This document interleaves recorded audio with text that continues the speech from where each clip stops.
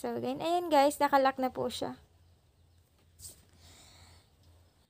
Hello guys! Ayan, welcome back again to our YouTube channel. It's Kyle and TV!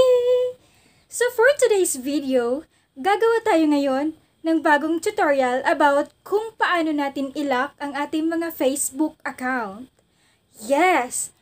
Pwede palang, ay, pwede pala yon. Yes, pwedeng pwede na ilock natin ang ating mga Facebook account para iwas na din, para iwas hack and iwas na yung mga taong mahilig manguha ng picture ng ibang tao.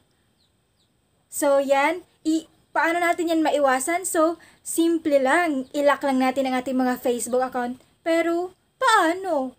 So, ngayon guys, tuturuan ko kayo kung paano natin ilock ang ating mga Facebook account. So guys, ang kailangan po natin dito ay Facebook Lite. Yes, FB Lite po. Kasi kapag Facebook app po, hindi po nagana, hindi pa po available sa Facebook app, ang gagawin natin, ang available na tricks doon sa FB Lite, wala pa kasi doon sa Facebook app.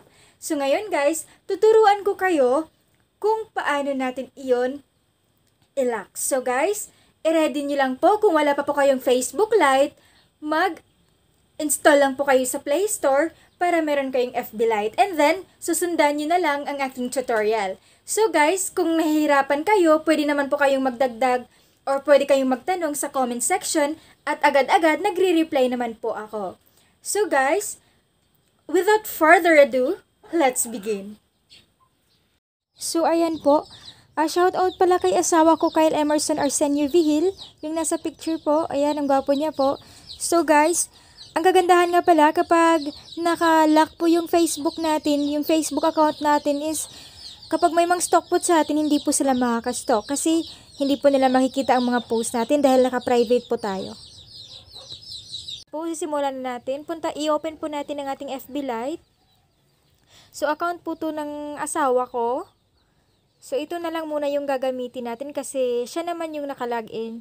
So, ayan, So, ganito po, 'di ba? Ganyan pag open po ng ating FB Lite, ganyan po yung makikita natin.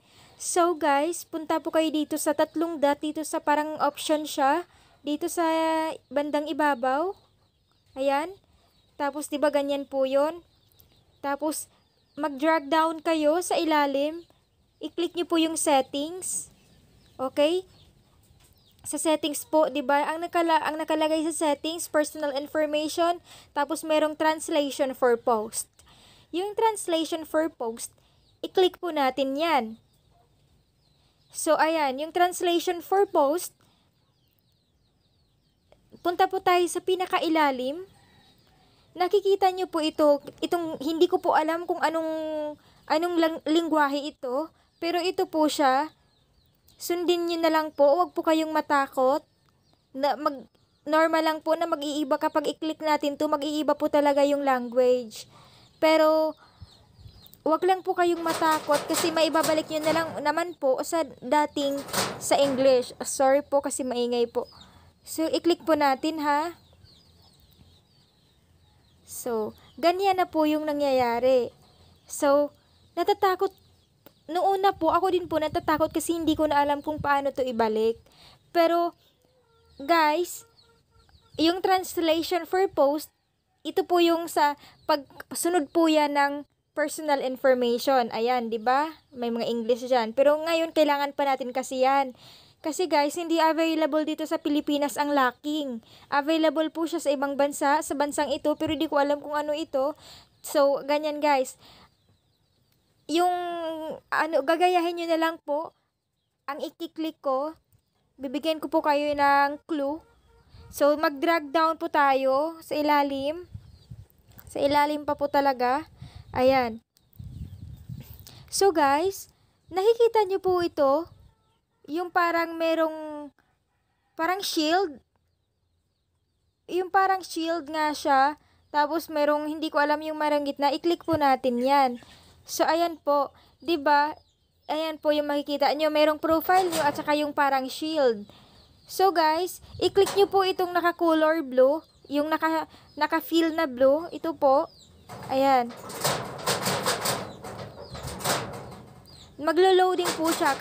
Kasi kapag i-click po natin yan, automatic, malak na po yung account natin. Tapos i ito, yung parang okay to eh. Na, sumang-ayon tayo na i ano, i-click nyo lang din itong naka naka feel na blue. It, ayan.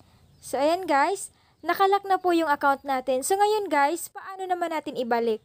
So ibalik natin guys, i-click natin ulit yung dito. So, 'di ba? Sa per, sa pinakauna talaga sa settings is personal information tapos yung pangalawa translation for post. Ibalik po natin yung ah, ng dating la- language. So kung gusto niyo po ng Filipino pwede, pero sa akin kasi English. So ayan. Ayan guys. Tapos puntahan po natin kung nalakbang nga ba. So ayan po.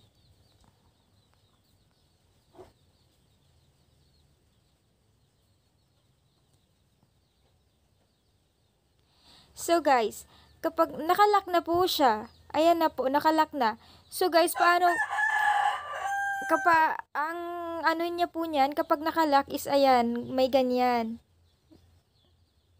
So, again, ayan guys, nakalock na po siya.